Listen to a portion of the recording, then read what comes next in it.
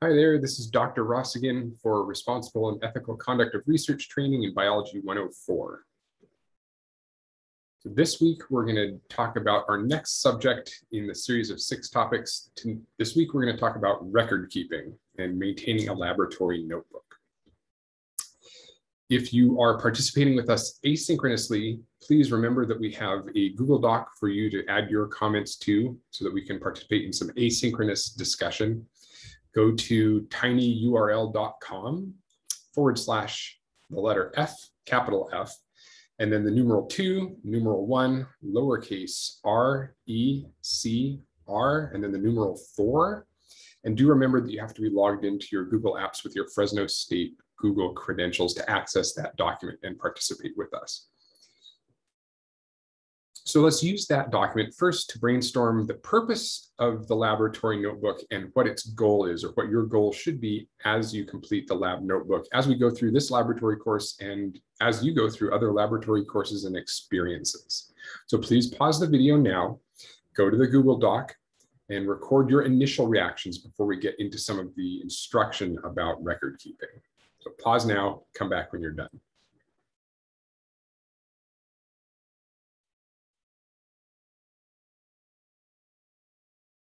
And welcome back. So let's look at a couple of thoughts.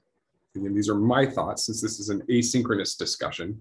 So this won't necessarily reflect everything that you might have brainstormed. So let's start on the left side with the purpose of the notebook. Typical purpose is to record observations. So that is not at all striking. I mean, that's the main purpose of the lab notebook. It's a place for you to record observations. So what else? What other purposes does the lab notebook serve?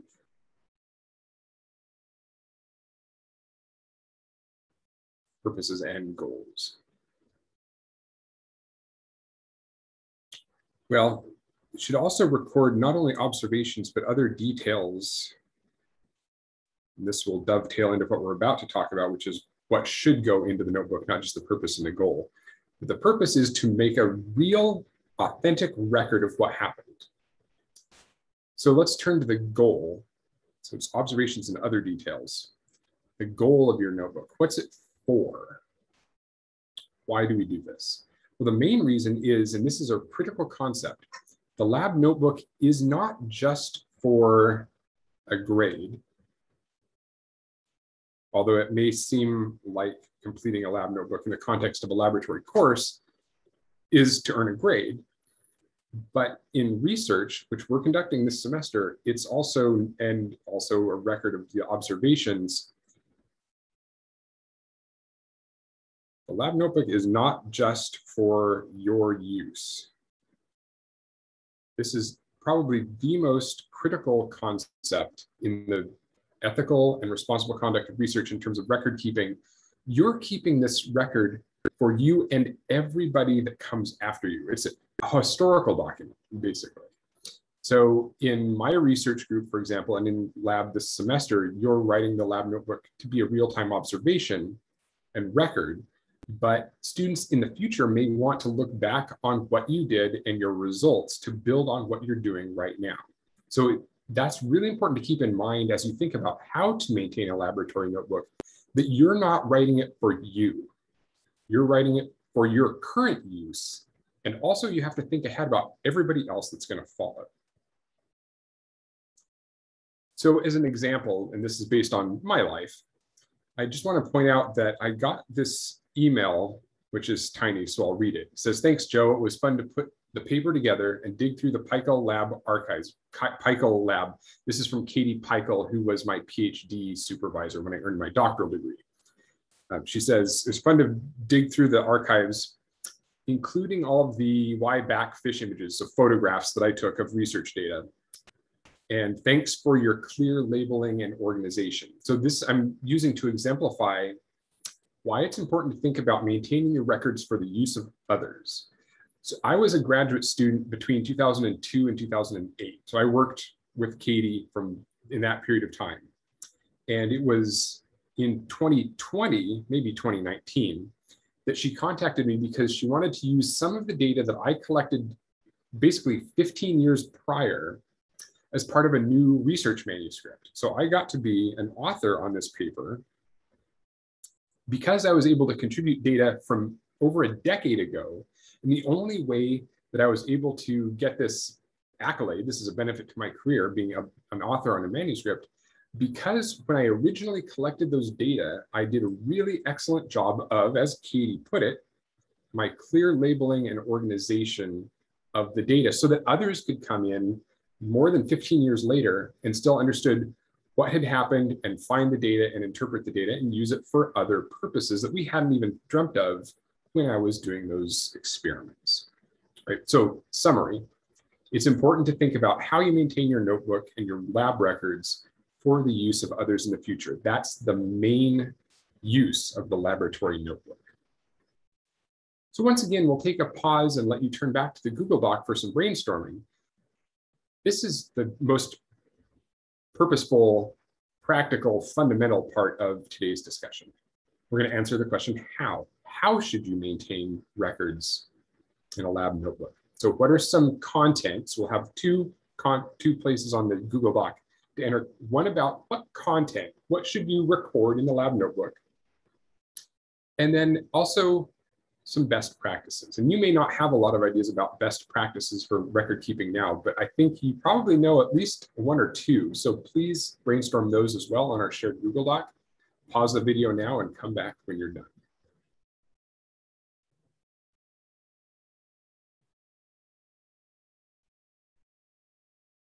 All right, welcome back.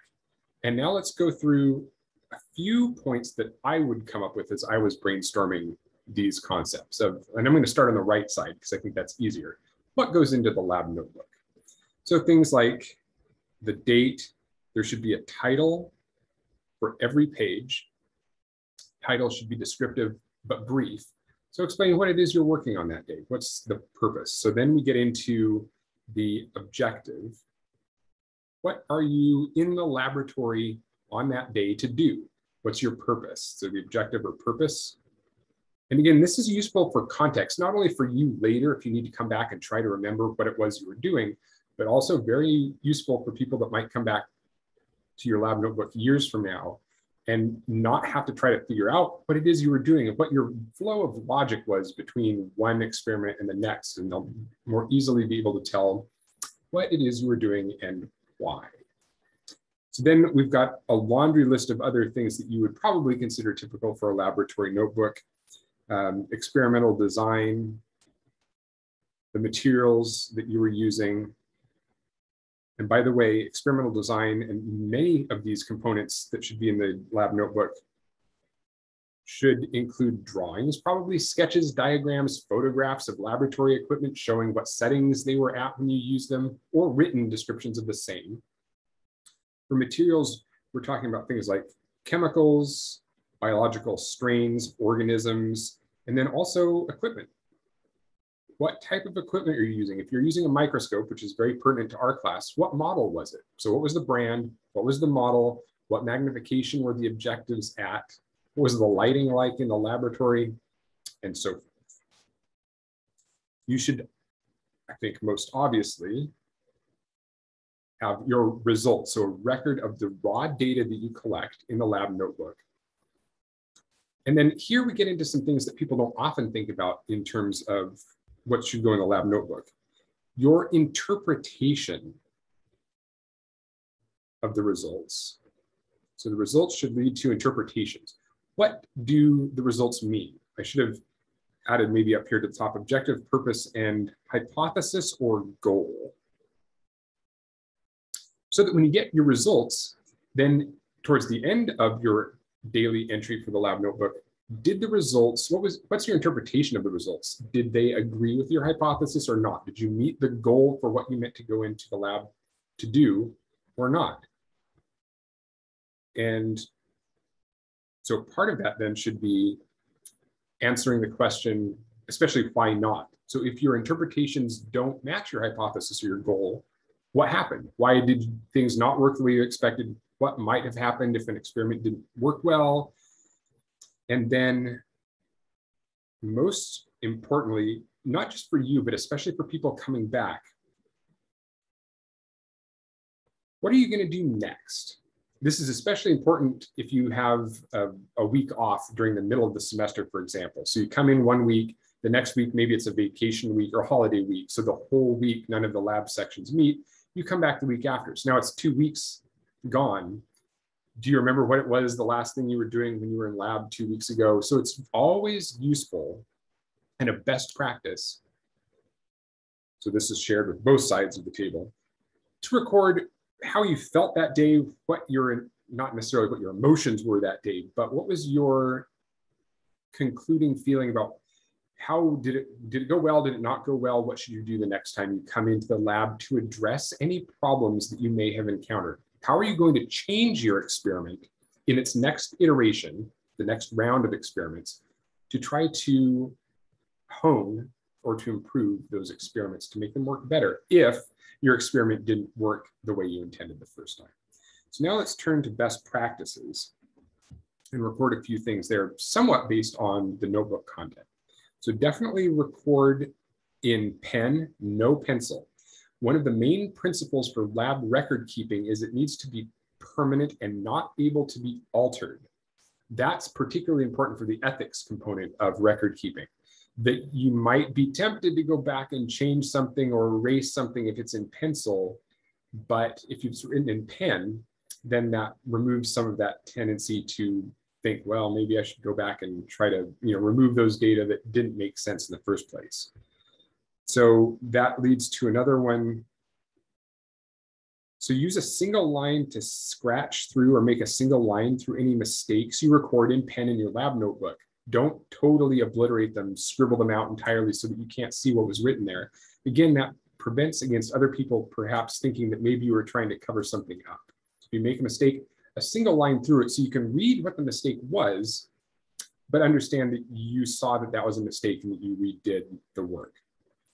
Um, one of the most important concepts here is that the lab notebook is not meant to be perfect, uh, flawless, right? So this goes along with that previous comment about if there's a mistake, don't erase it, don't start over, scratch through it and keep going on the same lab notebook page.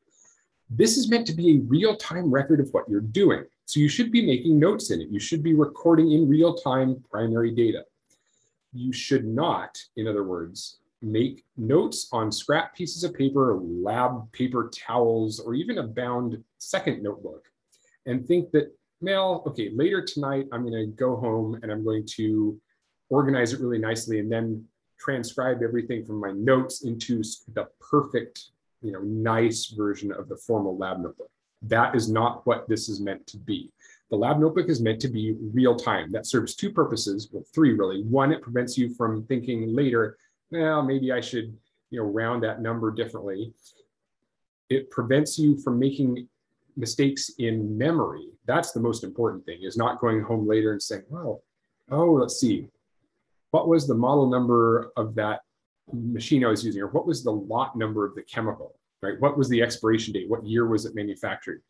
Those details all need to be recorded in real time to ensure that they're the most accurate details possible.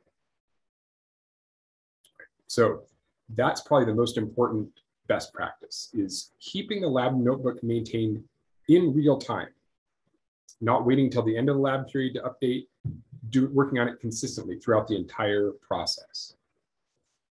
Now, one thing to think about with record keeping is a lot of our materials and data are collected digitally now, digital photographs.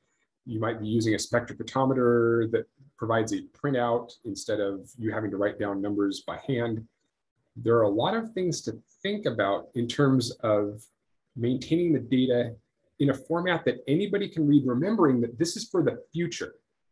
This record keeping, this notebook is not just for you, it is for you, but think about who is going to be able to access your data in the future. And is it going to be, for example, if it's a digital image, where are you going to store it so that anybody in the future can find it?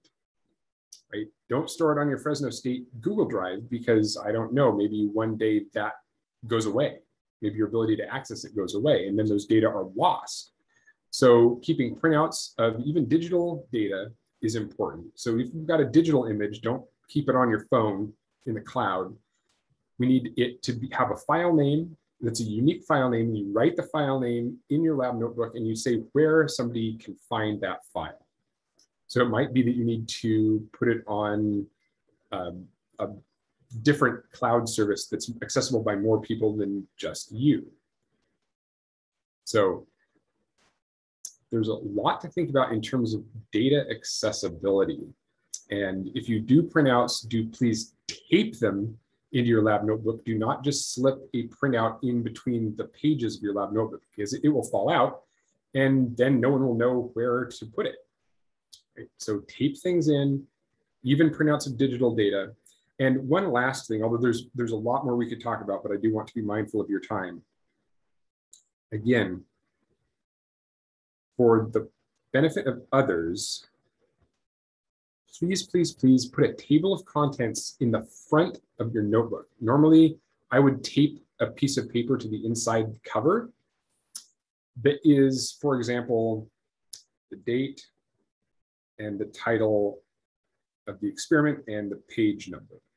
So that's something I didn't mention yet, but that would be sort of a table of contents. Have a column for the date. So each page number has a date and you record the title. And that way, if somebody's looking for a particular series of experiments you ran, they'll more quickly be able to find it than starting from the front of your notebook and working all of the way through. So last thing for this is page numbers. Best practice is to have a automatically numbered is printed page numbered lab notebook. So if you buy a lab notebook, you have an option to buy one where the lab where the numbers are already printed on all of the pages for you. That's ideal again from the ethics standpoint because that prevents you or anybody else from removing data from your notebook by tearing out pages. Because it will be obvious if there's a missing page because the, lab, the page numbering won't go one, two, three, four, five. It might go one, two, five. And then somebody would obviously recognize that the page that contained three and four on the back and front is missing. The next best thing is to make sure that you have numbered all the pages yourself. Serial number from the first page to the back page, number every side. So front page one, back side two, facing page three, the next page four, and so on. So those are all practices that will help make sure that you're recording your lab notebook materials in an ethical way. So we already talked about considerations for digital records. Uh, one that I want to point out in particular is what about for digital images? Let's talk about file formats just for a second.